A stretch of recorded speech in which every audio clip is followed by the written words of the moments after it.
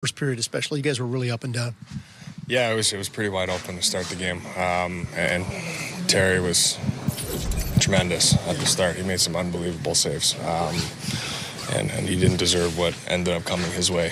Um, it was it was a wide open game. I mean, we- know they set that trap at that one three one, and you really got to manage the puck.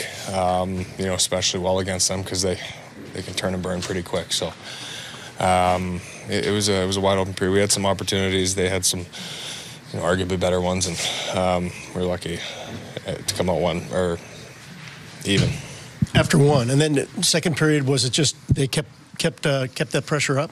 Uh, yeah, I mean that's that's a team that's you know every year pretty defensively sound and, Yeah. and you know frustrates you through the neutral zone. That's kind of been their staple for a while now. So um, they they did a good job of that again, and, and you know we fed into it a little bit. We uh, turned some pucks over at the blue line, and it, it uh, you know came back to bite us. It seemed though that you settled things down a little bit in that third period. Do you agree? Yeah, yeah, we did. We did. Um, you know, we just we, we weren't able to create anything.